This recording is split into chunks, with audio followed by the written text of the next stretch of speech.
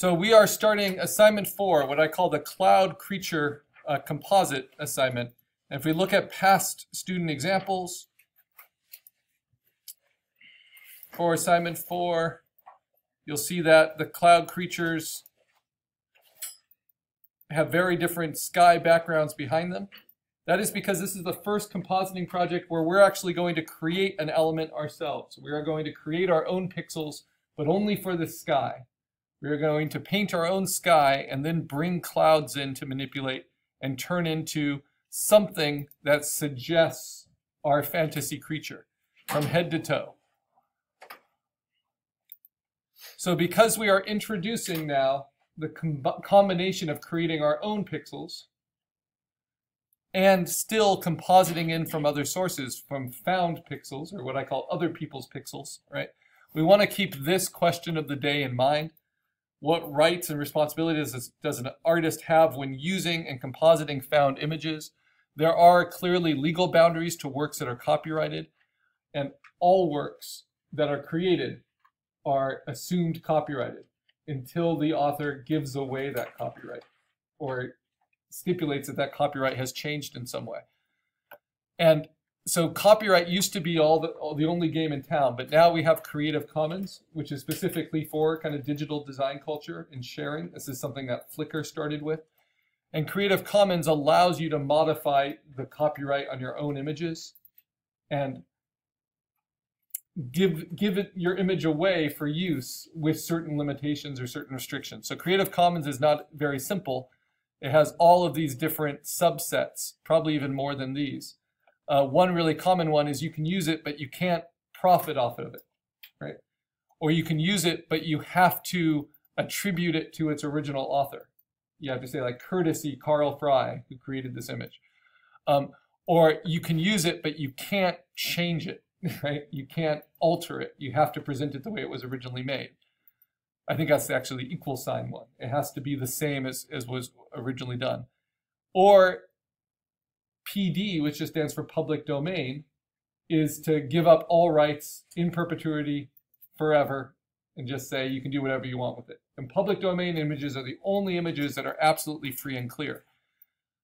The, the most open Creative Commons copyright that isn't public domain is what's called Creative Commons Open, CC0. And that is what Pixabay, this uh, search and image resource, operates under.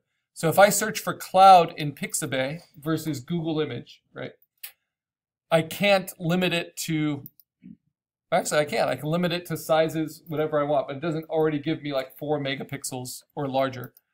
So it has a lot of the advantages that uh, Google image search has, has, but it has far fewer images because all of these images have been given away by their artists under a Pixabay license, which is free for com commercial use and no attribution required. So it's basically the same as public domain with the difference that a Creative Commons open means that the, the artist can change their mind and revoke it at some point and pull the work back.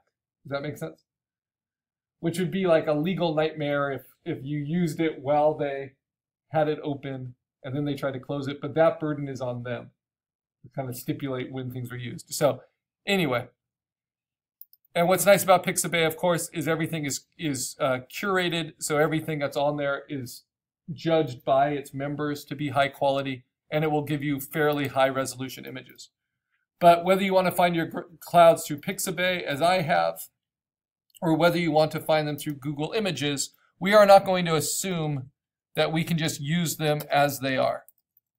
It's always a good idea as a digital artist not to just assume you can use things as they are unless you are provided with a public domain image and you've seen the public domain listing of it and your job is to just you know colorize that public domain photo of the swamp creature from 1926 otherwise it's always good to alter it and make it your own right so we're going to continue to work under that assumption so we go to google images and just reminding you because this is our last one of our last big compositing projects before we find anything, we have to limit it to usable size. And because we're planning to print these out at at least 8 by 10 inches, but at at least 300 pixels per inch, we want clouds that are at least 4 megapixels large, which is 2,272 pixels or more by 1,704 pixels or more.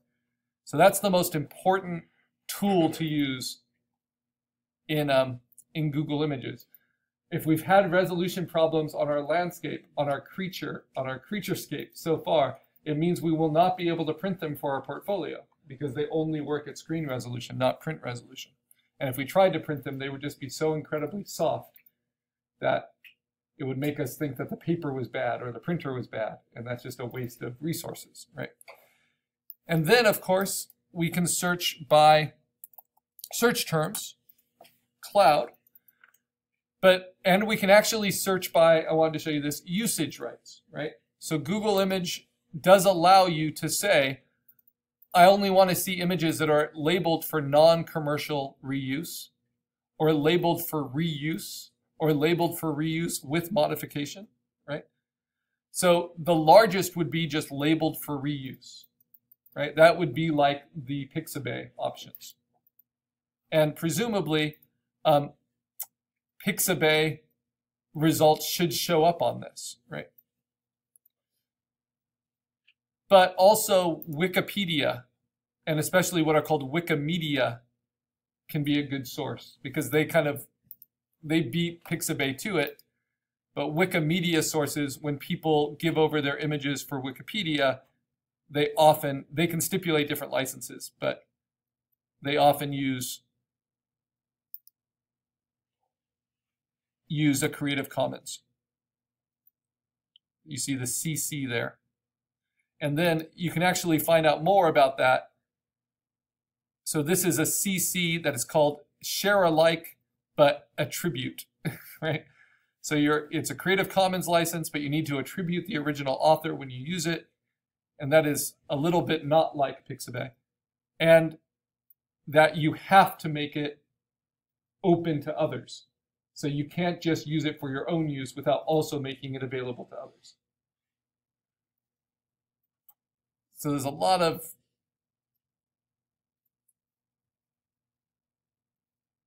a lot of stipulations to these different Creative Commons that you will find. Okay, now what if we just find clouds from anywhere, but we use more than, we use five or more of them, and we don't rely on any one cloud more than any other. And those clouds are not going to be recognizable by their original authors. I think we have then met all the hurdles of transforming the source material into our own creative work. And therefore, it doesn't matter what the original license is. So that's always been our goal, right? But you want to know what the, what the rights are, not just of the images we're using, but the rights your images have once you create them, right? So that's our question of the day. Chapter 2 will help you with that. And I have used Pixabay just to give that extra layer of copyright protection. And these are the five clouds I pulled, right? So a student asked me, should they all be puffy clouds? Do they all need to be bright sunlight? No, they can be any kind of clouds you want, but they need to all work believably together. So if you're using storm clouds, you want to find multiple storm clouds. I was actually a little shocked because Pixabay, which is growing all the time, but it has 677 pages of images with cloud as a tag, right? Now, a lot of those, you know, you're not going to use the cloud, but some of them have very dramatic clouds, right? And you know that they're all fairly high resolution. So I just used the first page and grabbed these five. But something you want to be aware of with clouds is where the light is coming from. So for this one, this looks really cool. And as I was driving to campus this morning, there was the sun behind the clouds. It looked like crackling or something. And having light behind the cloud, this is called rim lighting, is very different than having light above the cloud or having lightning shine behind a cloud, which really light, lights it up a lot uh, more directly than sunlight. Or, you know, just this big open field of cloud. I think I've gotten that one already. So the first, uh, once you have your cloud reference, you're looking for one big one that's really going to help you. And I have two that are pretty big. That can help a lot. And that's going to be like our dough because we're basically going to be painting with cloud this project. So what do I mean? Now let's go right to Photoshop.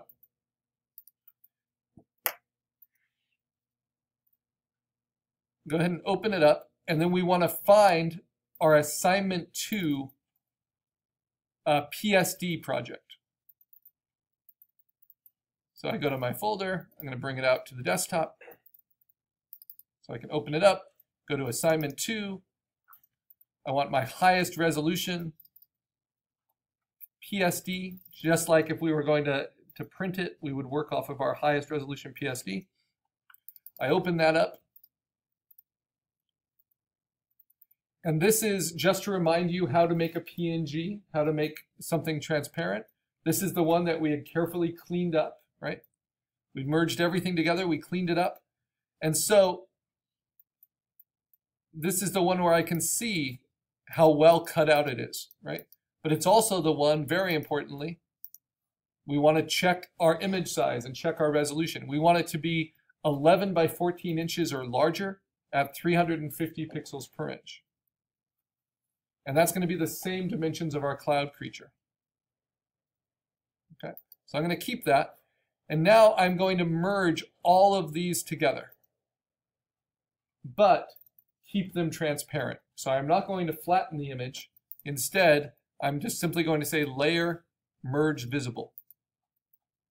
And then layer, uh, not merge visible.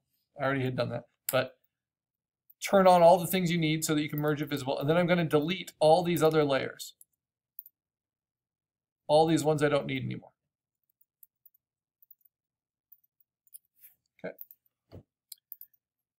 Now we're going to bring in a cloud, a cloud sky. So I go to my cloud reference folder, and just like we've done in the past, I'm going to bring in, let's see, I'll use this one. Nice big cloud. Now, because they're clouds, and the reason I say you only need 4 megapixels or larger for this, as opposed to the 6 we needed for our creature components, or the, the 10 that we needed for our landscape components, is because clouds will soften as we, any image will soften as we grow it. And sometimes softening a cloud is not the worst thing in the world. So I'm going to go right to warp while it's still a smart object, and I'm going to push it and pull it. And I'm actually going to take its opacity down to about 50%. And I think of this as rolling the dough. I am rolling this cloud out like cookie dough, like a sugar cookie, so that the edges of the cloud, not the sky, but the cloud itself, completely cover my creature. Then hit return. So I'll show you what I mean by that. If I put it back at 100%, you see how I have all this cloud, and I've warped it a little bit, and it covers my creature. I'll put my creature on top of it, and you can see. So that's step one. Now we're going to use our creature as a cookie cutter and this is review, but it's very helpful to remember.